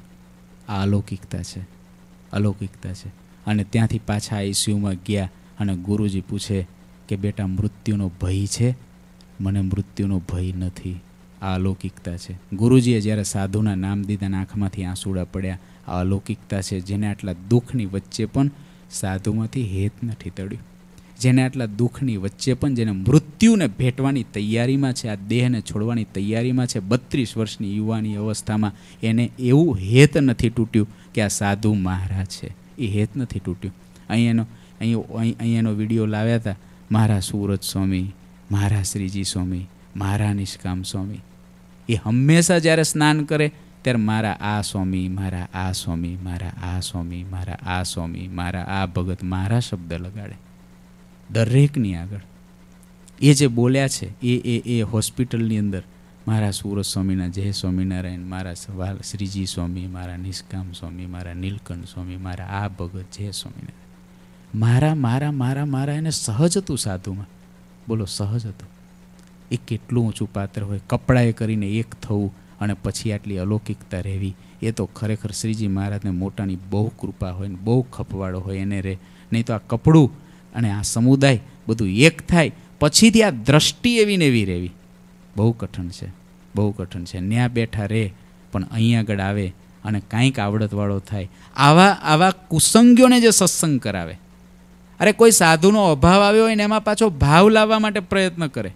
આજે ઘનશ્યામને અભાવ આવ્યો તો ગુરુજીએ વાત કરી, એને ભાવ દર્શન સમયમાં પાછો કરાવવા માટેનો પ્રયત્ન કર્યો. એ ઘનશ્યામને એવો ભાવ થયો કે એટલું પોકે પોકે રોતો હતો યોગી સ્વામીને જોઈને જ્યારે ગયા ત્યારે અને એને જેટલા એમની માટે લાકડા જરૂર પડી કે કોઈનું કાંઈ નહીં, બધું જ મારું કે. આમાં જ મારે જ સેવા કરવી છે. અને એટલું રડ્યો છે કે એ એવું કે મારો કોઈ ગયું હશે ને, એમાં હું નથી રડ્યો, એટલું આમાં રડ્યો છું. એટલું પોકે પોકે રડ્યા છે. એક આવો વ્યક્તિ જેને સાધુનો અભાવ આવ્યો, એને અંત કાળે પણ એને સાધુનો ભાવ પેદા કરાવી જાય પાત્ર કેવું હશે? કેવું હશે? સાત વર્ષની અંદર કોઈને આટલી કારકિર્દી આધ્યાત્મિક જીવનમાં ન મળે ન મળે. આટલા સાધુના રાજીપાવાળા, કોઈ ગુરુજીની નજર સામેથી નથી ખસતું જે પાત્ર. સંતોની નજર સામેથી જે નથી ખસતું પાત્ર. ભક્તોની નજર સામેથી નથી ખસતું જે પાત્ર. એ કેવું હોય? એને મહારાજને વાલા થયા. પણ ખરેખર જીવન તો એનું જ છે કે જેને મોટા પુરુષો પ્રમાણ કરે. મોટા પુરુષ પ્રમાણ કરે છે. ખાલી ગુરુજી કંઈ જાહેર સભાથી પ્રમાણ કરી એમ નહીં. ગુરુજીના હૃદય, ગુરુજીની ડાયરીઓ વાંચવામાં આવશે લખેલી. એની અંદર પણ પ્રમાણ. કારણ કે ડાયરીમાં લખાતું હોય. પોતાની પર્સનલ ડાયરીમાં જે લખાતું હોય તો હૃદય જ લખાતું હોય ને. એ તો હૃદય જ લખે ને. અને હૃદય લખાયું હોય એમાં યોગી સ્વામી સુવર્ણ અક્ષરો એ ગુરુજીને ડાયરીમાં છે. અને ગુરુજીના હૃદયમાં ઠેક તળિયે તળિયે કોઈ સમુદ્રના કાંઠે ફરે છે, કોઈ સમુદ્રની અંદર વચ્ચે જાય છે, કોઈક મધદરિયે રમે છે અને કોઈક તળિયે જઈને મોતી મેળવે છે. એમ એમ કહી શકાય કે યોગી સ્વામીએ ગુરુજીના હૃદયમાંથી મોતી મેળવ્યું છે. મોતી મેળવ્યું છે. જ્યારે એ ધામમાં જવાના હતા, આવેનો પ્રસંગ પણ એક સાંભળવા જેવો છે. જ્યારે એ ધામમાં જવાના હતા, એના છ દિવસ પહેલાં એમના પિતાશ્રીને એવું અનુમાન થઈ ગયેલું કે આ ધામમાં જશે. ધામમાં જશે એવું અનુમાન થઈ ગયું હતું. એટલે જ્યારે એમને એવું થયું, એટલે પોતાના પત્નીને રોજ વાત કરે કે જેમ હું તને કહેતો હતો ને કે અંકિત પાછો નહીં આવે, એમ કદાચ આવે તને યોગી સ્વામી આમ ગુરુજીનું માઇક હરખું કરતા હાર હરખો કરતા નહીં દેખાય એવું લાગે છે કે? એવું કે આ બાજુ ઉપર ત્રણ દિવસ બાકી હતા. દસ તારીખે ગુરુજીએ મહારાજને કહી દીધું કે મહારાજ, તમારી જે ઈચ્છા હોય કરો. એટલે દસ તારીખે જ ગુરુજીએ અરવિંદભાઈને અગિયાર તારીખે બોલાવે રોજ પાણી છાંટવા આવે અરવિંદભાઈ અહીંયા આવો. ગુરુજી ત્યાં હિંચકે બેસે તમે દર્શન કર્યા હશે. અરવિંદભાઈનો એક નિયમ, એ હિંચકાને ગુરુજી ના બેઠા હોય તો રોજ દંડવટ કરવાના. ગુરુજી પાસે કોઈ બેઠું હોય તો એ દૂરથી દંડવટ કરે. પાસે ના જાય. અને કોઈ એવું કે અરવિંદભાઈ પણ પાસે જ જાઓ, ગુરુજીની નજર તો તમારા પર પડી નથી. ત્યારે અરવિંદભાઈ એવું કે કે ગુરુજીને મારી સામું જોવાની જરૂર નથી.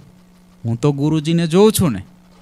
ગુરુજી અંતરદ્રષ્ટિએ કરીને મારી હામું જોવે જ છે. આવી તો સમજણ એને વિચારો. આવી સમજણ. અને કેટલા એવાય છે કે હામે ખાલી જે સમય ભૂલી ગયો કે કામમાં નામ નીકળી ગયું કે ગુરુજીને આપણી ક્યાં કિંમત? હાલો, બીજા ગુરુ ગોતો આવાય છે.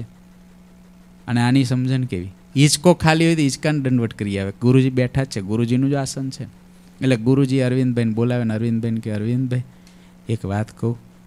યોગીને મહારાજ આવે નહીં રાખે. આટલું કહેતા ગુરુજીનું હૃદય ભરાઈ ગયું ને ગુરુજી રડી પડ્યા બાળકની જેમ. ગુરુજી એવા સદગુરુ છે, બહુ લાગણીસભર સદગુરુ છે. બહુ જ મહિમાવાળા સદગુરુ છે. એને શિષ્ય જાય છે, એનું દુઃખ નથી. શિષ્ય જાય છે ક્યાં? એ તો એને અમે શિષ્ય થયા છે, પુરુષોત્તમ નારાયણ સુધી ગુરુજી લઈ જાય એટલે તેના શિષ્ય થયા છે. એને અરવિંદભાઈ આ હોપ્યા તો પુરુષોત્તમ નારાયણ સુધી પહોંચાડવા. ગુરુજીનું મિશન તો એ છે કે પુરુષોત્તમ સુધી પહોંચાડે છે. એટલે તો ગુરુજીએ કીધું મેં એને છેલ્લે એ કીધું, ગઈકાલ ગુરુજી આશીર્વાદ કીધું તું મને ભૂલી જા. સાધુ એવા હોય છે. પણ મૂર્ખ લોકો એવું સમજે છે કે સાધુના મહિમાની વાતો કરી કરીને સાધુમાં જોડે છે એવા મૂર્ખ માણસો સમજે, પણ સાધુમાં જે જોડાયો હોય એ જ ભગવાનમાં જોડાઈ શકે છે. ગુરુજી એવું કીધું છે ને છેલ્લે, તું મને ભૂલી જા. હવે હરિકૃષ્ણ મહારાજને જ સંભાર આવું કીધું છે. કદાચ, માનો કે એને હરિકૃષ્ણ મહારાજ કોઈ જીવને ના સાંભળે અને ગુરુજી જ સાંભળે, તો વચનામૃતના પેજે પેજ પ્રમાણ છે. એટલે કહેતા કોઈ સાધુ સાંભળે. વચનામૃતનો એ પેજ પ્રમાણ છે, શ્રીજી મહારાજ જ એને મળે, બીજું કોઈ ના મળે. આ કંઈ થોડા માયાના છે બધા? આ બધા ભગવાનના ભક્તો થોડા માયાના છે? આને સંભાળવાથી ભગવાન જ સાંભળે. આ બધા ભગવાનના સ્વરૂપો છે. આપણને નથી ઓળખાતું, આપણો દેહાત્મ ભાવ છે. જ્યારે ગુરુજી બહુ રડવા લાગે ને એટલે અરવિંદભાઈ થોડી વાર કે ગુરુજી, હું કાલ આવીશ. આજ મને જવા દો. જતા રહ્યા. ગુરુજી કે, પણ તમે એના મમ્મીને કહેજો. એના મમ્મીને કારણ કે એકનો એક છોકરો આપ્યો છે અને ગુરુજી એવું કીધેલું કે આને હું જેમ કોઈ ખજાનાની તિજોરીનો ઝવેરી જેમ એમાં હીરો હાચવે ને એમ હું આને હાચવીશ. તમે એની ચિંતા ના કરતા. અને જ્યારે અરવિંદભાઈ કે હું એને ઘેર જઈને કહી દઈશ, તમે ચિંતા ના કરશો ગુરુજી. એ મારી પર છોડ દો કે. બીજે દિવસ પાછા અરવિંદભાઈ આવ્યા. કપડાં બપડા સરસ ઇસ્ત્રી ટાઈટ પહેરીને નવા. રોજ તો બાકી એ આવ્યા હોય ને તો તમને લાગે ખેતરમાંથી જાય છે. રોજ આવવાનું ગુરુકુળ. આવ્યા ઇસ્ત્રીવાળા પહેરીને. પછી ગુરુજી પાસે બેઠા એટલે ગુરુજી કીધું કે એના મમ્મીને વાત કરી તમે. આમ પૂછ્યું અને ગુરુજી ફરી પાછા ઢીલા થઈ ગયા. કારણ કે ગુરુજીને એવું કે આ લોકોને શું થશે આ? આ છોકરાને મહારાજને તો મેં લેવા અરજી નાખી લઈ જાઓ. પણ આ મા બાપને શું થશે? ત્યારે કે ગુરુજી, એક વાત હું તમને કહું. તમે આ બિલકુલ ઢીલા પડ્યા છો ને એ ઢીલા ના પડશો કે ગુરુજી. તમે રાજી રહો કે મારી પર. ગુરુજી, અમે તમને છોકરો દીધો. રડતા રડતા આપ્યો તો કે, અર્પણ વિધિ જોઈ લેજો. દાન લેવાવાળા, છોકરાનું દાન લેવાવાળા પૂજ્યપાદ ગુરુજી. અમારી વચ્ચે આવાવાળો એક અમારો નાનો ભાઈ, અમારી સંતોની વચ્ચે આવાવાળો અમે બધું છોડીને બેઠા છે. ગુરુજી બધું છોડીને બેઠા છે.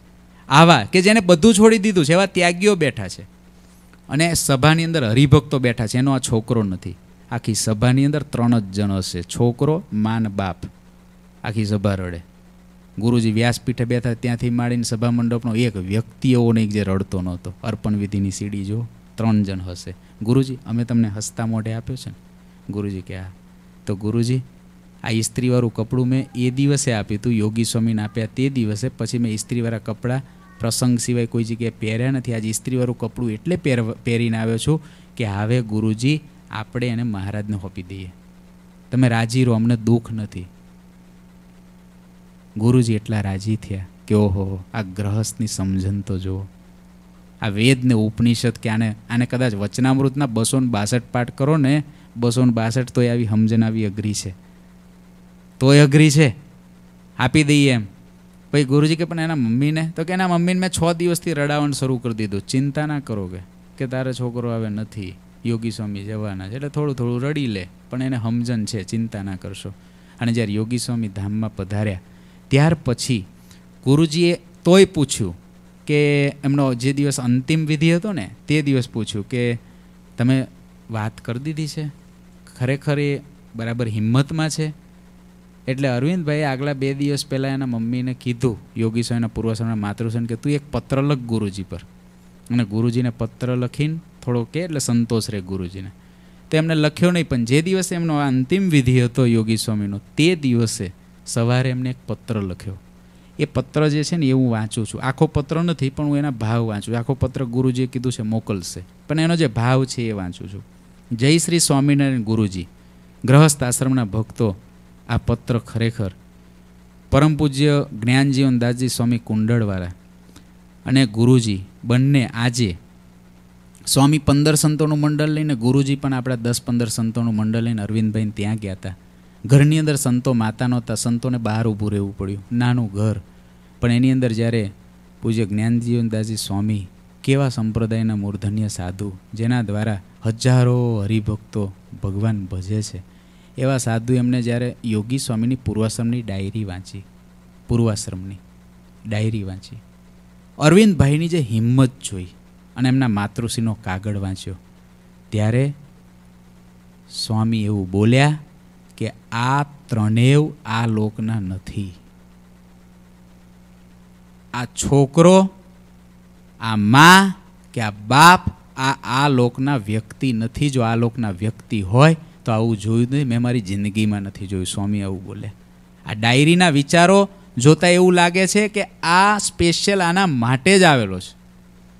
અને આ મા બાપ આ તો આ લોકના છે જ નહીં સ્વામી કે અને આજે એમની માતાએ પત્ર લખ્યો ને એ પત્ર વાંચીને સ્વામી કે આ એમની મમ્મી નથી લખતી, કોઈ મા આવો પત્ર લખી જ ના શકે. આ પત્ર સ્વામિનારાયણ ભગવાને લખ્યો છે કે એના હૃદયમાં રહીને.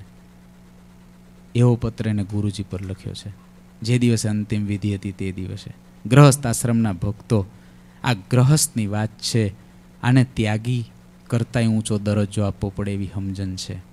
માટે ગ્રહસ્થાશ્રમના ભક્તો માટે જ આ સ્પેશિયલ યોગી સ્વામીના ચરિત્રો મેં ઓછા કીધા. એના કરતાં જાજા એના માતાને પિતાના કીધા. કારણ કે મહારાજે પણ માતાને પિતાને બિરદાવે છે, જેને ઘેર આવા દીકરાનો જન્મ થયો ને ધન્ય છે. એવા મા બાપને ધન્ય છે. આવું રત્ન પાકે ક્યાં? ખાન તો હરખી જોઈએ ને. રત્ન તો પકવવું છે, પણ માને બાપ એવા હોય તો રતન એવું પાકે. હવે માં ટીવી ચાલુ કરીને બેતી હોય ને બાપ કંઈક બીજું કરવા બેતો હોય ને ભાઈ કે છોકરો આવો જન્મે, ના જન્મે. જો એમના માતૃશ્રી કેવું લખ્યું છે. જય શ્રી સ્વામિનારાયણ પૂજ્ય ગુરુજી, તમે મનમાં જરાય ઓછપ ન લગાડશો, દુઃખ ન લગાડશો.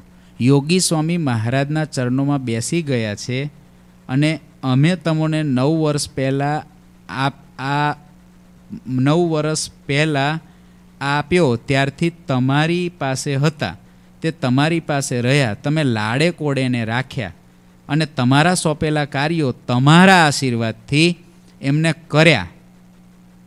અને અમારા, અને તમે એને તમારા છોકરાને જેમ રાખ્યા, અને અમારા છોકરાને તમારા જેવા ગુરુ મળ્યા, અને સત્સંગમાં એમને ખૂબ બળ આપ્યું. જે સત્સંગમાં એમને ખૂબ બળ આપ્યું, એ અમને એ અમને બળ આપે છે. એમની ખોટ લાગશે, પણ મહારાજની મરજી. આ કોણ લખે છે? એમના મમ્મી લખે છે. એમની ખોટ લાગશે, પણ મહારાજની મરજી. આ તો મેં જેવું સાંભળ્યું ને ફોનમાં, એવું ફટફટ લખ્યું એટલે આવું છે. ઓરિજિનલ પત્ર જ્યારે આવશે ત્યારે વાંચશું આપણે. બીજું, કે બંબો ચાલુ કરવા ગયા તે દર્શન સ્વામીની માટે ગરમ પાણી કરવા જતા હતા. એટલે દર્શન સ્વામીને બહુ જ દુઃખ થયું કે મારે લીધે ગયા અને આ થયું. એટલે એ હજુય રડ્યા કરે છે. એટલે એના ઉપર લખ્યું કે, ગુરુજી, વડોદરામાં દર્શન સ્વામીને કહેજો તમે મનમાં જરાય ઓછપ ન લગાડશો, દુઃખ ન લગાડશો. આ આ મારા લીધે થયું. એમ તમે દુઃખ ના લગાડતા. યોગી સ્વામીને યોગી સ્વામીને દર્શન સ્વામી મારા લીધે થયું એવી ઓછપ ન લગાડતા. એ તો મહારાજની મરજી પ્રમાણે જ થાય. હવે એમના ખીલવેલા યુવાનોના બાગને તમે ખીલતો રાખજો. એ બાગ વચ્ચે યોગી સ્વામી જ બિરાજતા હશે. માટે એ બાગને ખીલતો રાખજો. અને દરેક યુવાનોને પ્રાર્થના કે દર્શન સ્વામી અને દરેક સંતમાં યોગી સ્વામીના દર્શન કરજો. અને દરેક સ્વામીની આજ્ઞામાં યોગી સ્વામીની આજ્ઞા માનીને રહેતા એમ રહેજો. પણ અને મોટા સ્વામી જેમ યોગી સ્વામીને માર્ગદર્શન આપતા એમ રહેજો. એ પ્રમાણે મંદિરમાં આવજો અને બીજાને પણ લાવજો. આ મારી યુવાનોને પ્રાર્થના. આ એને ગુરુજીના પત્રમાં જ લખ્યું છે. પછી લખ્યું, પૂજ્ય ગુરુજી, તમે કથા કરવા બેસો, તમને માઇક પહેરાવે અને સરખું કરે, ત્યારે મને ગર્વ થતો. એની કુખેથી જન્મેલો છોકરો હોય, એ આવા મોટા મહાપુરુષનું માઇક હરખું કરે, એનો હાર હરખો કરે. છોકરા દેવા કઠણ પડે, ગ્રહસ્થને જ્યારે આપવાના હોય ને ત્યારે, પણ એ છોકરો જ્યારે સાધુ થાય અને સાધુ થઈ અને કંઈક ક્યારેક કથા કરતો હોય, કોઈ સેવા કરતો હોય, કંઈક ગાતો હોય, કંઈક કરતો હોય, કોઈ આવા મહાપુરુષ ગુરુજી જેવા એના ઉપયોગમાં આવતો હોય મા બાપ બહેને સભામાં દૂરથી જોઈને એની છાતી ગજગજ ખીલતી હોય. આ માની ગા, છાતી પણ ગજગજ ખીલતી હતી કે યોગી સ્વામી જ્યારે માઇક, એને લખ્યું છે કે માઇક તમારું હરખું કરે ત્યારે મને ગર્વ થતો. અને અમારા યોગી સ્વામી હવે એવા જોવા મળે નહીં. પરંતુ એનું મને દુઃખ નથી. કેમ દુઃખ નથી? અમારા માટે દરેક સંત યોગી સ્વામી જ છે. આ સ્ત્રીની સમજણ તો જો પીએચડી થયા જ પૂછી આવો. પીએચડી થયા છે બે ધોરણ ભણ્યા છો તમે? પૂછી આવો. આવું હોય છે. આવા માતાઓને, આવા પિતાઓને કરોડો વખત વંદન કરવાની ઈચ્છા થાય. આને ભગવા જ નથી પહેર્યા ખાલી. આને ભગવા કપડાં જ નથી પહેર્યા. ગ્રહસ્થ આશ્રમની અંદર રહેવાવાળા ભક્તો માટે આ એટલા માટે આજે આ મેં કથા કરી છે કે વાલા ભક્તો ગુરુજીની કૃપાથી. અરવિંદભાઈને મેં બધું આ પૂછ્યું. અને જ્યારે આ બધો ઇતિહાસ અમુક અમુક પૂછ્યો, મને કે અરવિંદભાઈ કે સ્વામી, એક વાત તો તમે યાદ જ રાખજો કે આ જેટલું અમારામાં બળ છે, આ જેટલું જે કંઈ અમે આટલું સહન કરી શક્યા અમારી નજર સામે આ બધું થયું, આ બધું ગુરુજીની કૃપાથી છે. મેં એક વખત હમણાં વાત થઈ ને બે દિવસ પહેલાં જ્યારે એમનો અંતિમ સંસ્કાર થયો, મેં ફોન કર્યો. મેં કહું ભગત, બહુ સારું તમને બળ એટલે હું સહેજે બોલ્યો બળ તમને સારું મહારાજે આપ્યું. એવું હું સહજ બોલ્યો. મને કે, સ્વામી, મહારાજ, તમે મહારાજ બરાબર છે, મહારાજ બરાબર, પણ મને તો કે મારા ગુરુએ બળ આપ્યું છે કે, મારા ગુરુ કેવા છે કે? હારું, હું તો આશ્ચર્યમાં પડી ગયો કે આનો નાદ તો જો નાભીમાંથી હતો. આવા સમયે કોઈ દમને કપટથી બોલી જ ના શકે. દમ કપટથી કદાચ અહીં બોલાય આ માઇક પર.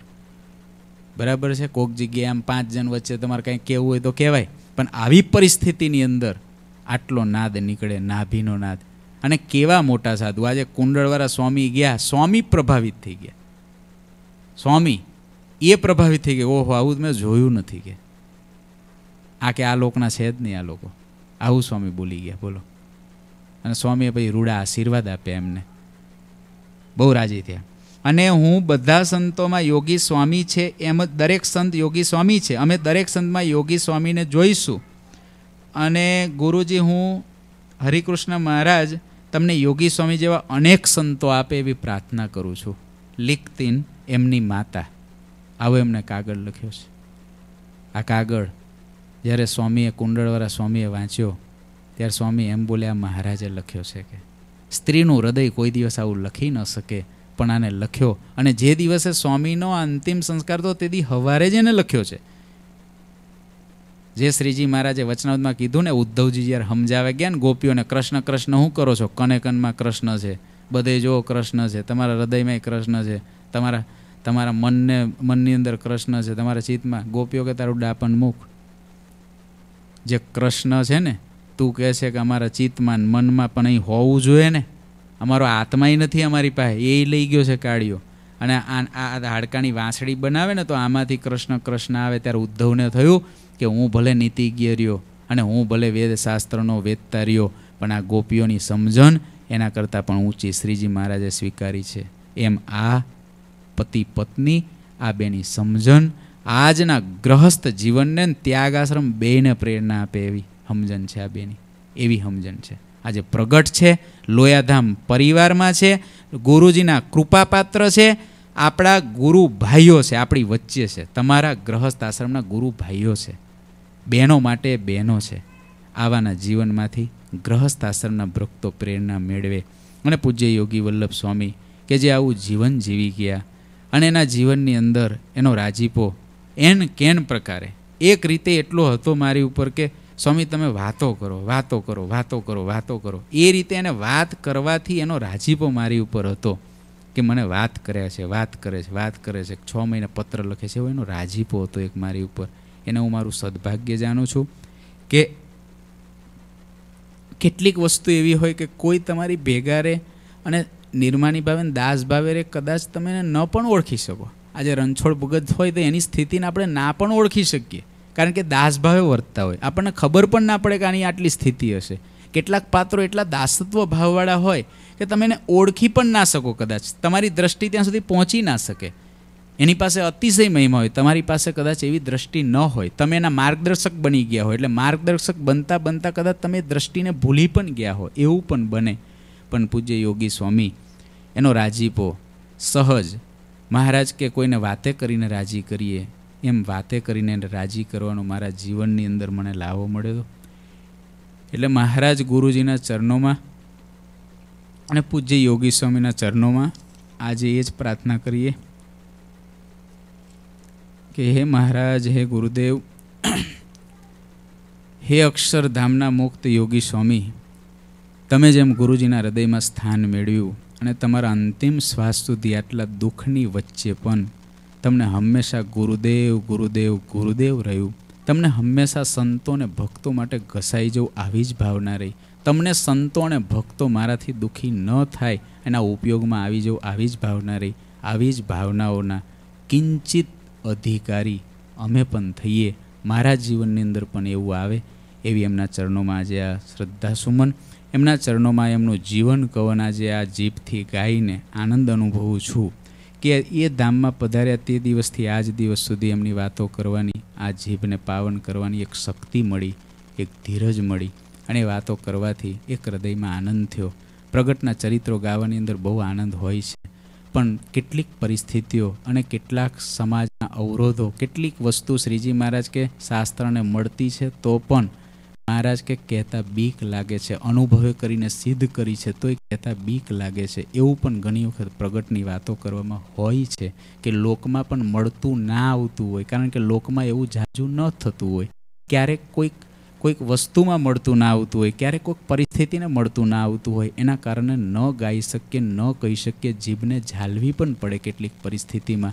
પણ જ્યારે આવું હોય ત્યારે મુક્ત કંઠે ગાઈ શકાય.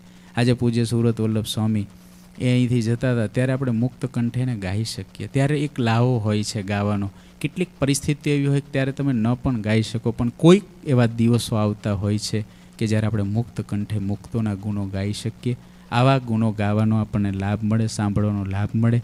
આવા આવા મુક્તાત્માઓ જે આ ધામને પામ્યા, એ પૂજ્ય યોગી વલ્લભ સ્વામી અને જે એમના માતૃશ્રી અને પિતાશ્રી, આજે હજુ પૃથ્વી પર હયાત છે. જાણે ધામમાં બેઠા હોય, ધામના મુક્તો હોય, એવા એ પૃથ્વી પર હયાત છે. એમના જીવનમાંથી આપણા બધાને ખૂબ સારી પ્રેરણા મળે એવી મહારાજના ચરણોમાં પ્રાર્થના કરીને વિરમું છું. બોલો હરિકૃષ્ણ મહારાજની જય. શ્રીપતિમ શ્રીધરમ સર્વદેવેશ્વરમ ભક્તિધર્મા. વાસુદેવમ હરે માધવમ કેશવમ કામદમ કારણમ શ્રી સ્વામિનારાયણમ નીલકંઠમ ભજે હરિકૃષ્ણ મહારાજ